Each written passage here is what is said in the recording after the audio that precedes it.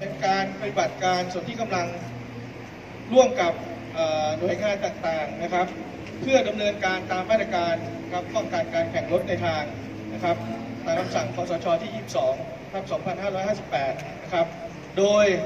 คำสั่งนี้ก็ได้มอบหมายให้เอ่อท่านผู้จัดการตำรวจแห่งชาติเนี่ยได้มอบหมายให้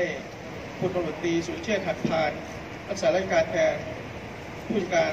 สำนักงานตรวจคนเข้าเมืองครับเป็นหัวหน้าชุดปฏิบัติการได้ทั้งหมดนะครับ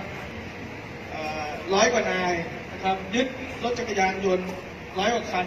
นะครับ ในส่วนนี้เนี่ยได้มีการตรวจปัสสาวะปรากฏว่าอ่าได้พบฉี่สีม่วงเนี่ย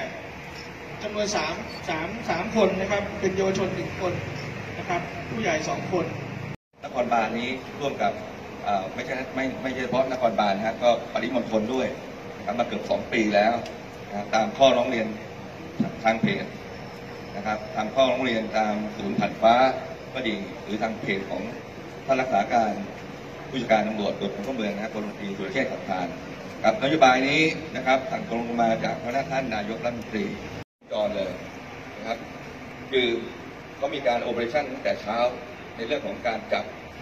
ร้านรวมต่างๆ ที่จำหน่ายท่อที่ไม่ได้มาตรฐานคือไม่มีมอกรเนี่ยเยอะไปหมด จากทุกอาทิตย์ก็ได้ได้ทุกอาทิตย์นะครับ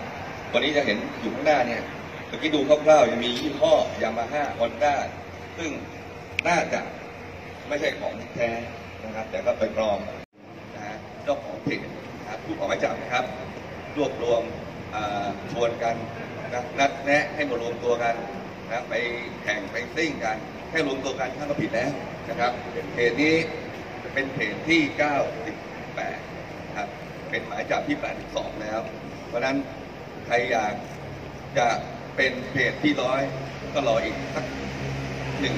นะเพราะเหลืออีกสองก็ร้อยแล้วก็รอหน่อยนะแต่ใครไม่อยากก็ไม่อยากถูกจับกุมก็ไม่ต้องไม่ต้องไปชักชวนใครนะครับ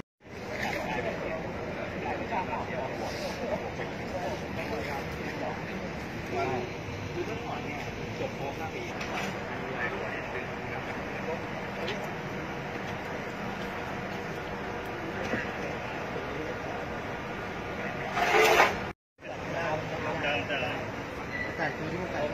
้วมาได้เดือนกว่าดีจะเข้าสองเดือนซื้อแล้วที่แล้วที่เดียวแม่ที่ปีอะไรปีที่ปีที่